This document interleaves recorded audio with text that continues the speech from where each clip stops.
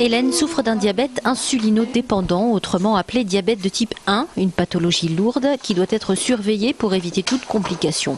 Enceinte de 8 mois et demi, elle fait appel à un organisme d'aide à domicile depuis le début de sa grossesse pour l'épauler dans cette période délicate. Le diabète peut induire euh, euh, des malformations euh, cardiaques entre autres ou la macrosomie diabétique, ce qui fait que le bébé n'est plus gros que les autres.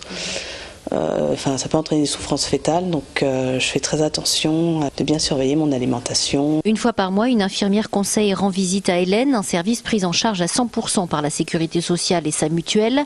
L'infirmière lui livre le matériel dont elle a besoin pour traiter son diabète. Elle est en quelque sorte l'interface entre la patiente et son prescripteur, son endocrinologue, pendant toute la durée du traitement. Il peut avoir connaissance des changements qu'on a faits pour les cathéters, pour euh, les, la pompe qui est tombée en panne, les accessoires qu'on met à disposition, les problèmes rencontrés euh, euh, tous les mois. Amener l'hôpital à domicile, c'est en quelque sorte le credo de la société LVL médicale.